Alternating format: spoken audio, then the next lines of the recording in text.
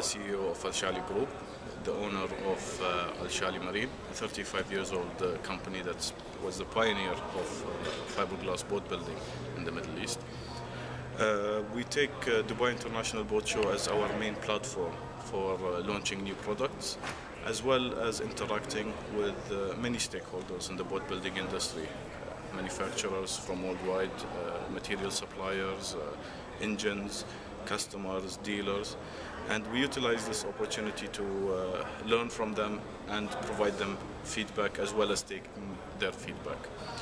Overall, the industry is in growth. There is a significant growth uh, internationally over the past five years, and even locally, uh, we announced last month our results, and there was a substantial 60% increase in sales between 2013 and 2014.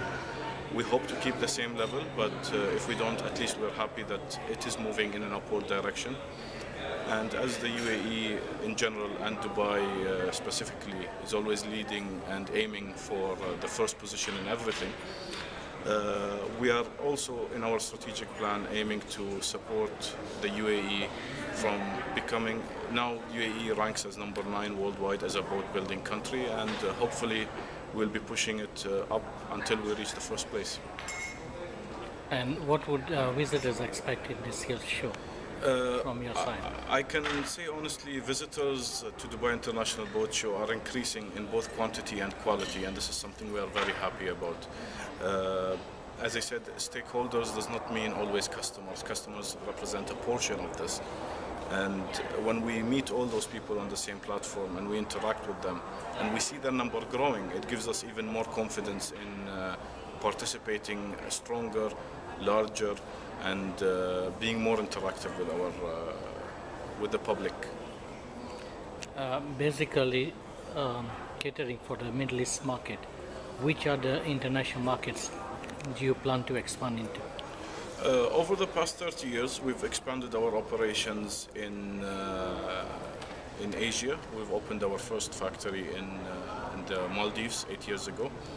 Uh, in Africa, we've expanded in uh, 2009. Of course, because of the political status there, we had to cut down our uh, participation. But now that Egypt is picking up, we're also starting again. Uh, in 2008, we also expanded into Europe. We established our head office in uh, Belgium that will service all the European dealers. Over the next uh, few years, we're looking at North and South America. Other than the international dealers that we have worldwide, we are looking forward to be present ourselves to provide support. As a family-owned and operating business, we always like to consider the customer a part of the family. And this family experience only comes when you deal with the family and you understand how employees are also member of the family and customers become a member of the family and it becomes a major uh, stakeholder in the business and its, in its development. And finally, how do you see competition in the boating industry? Uh, competition in the boating industry, I would say, is one of the healthiest thing that any manufacturer can hope for.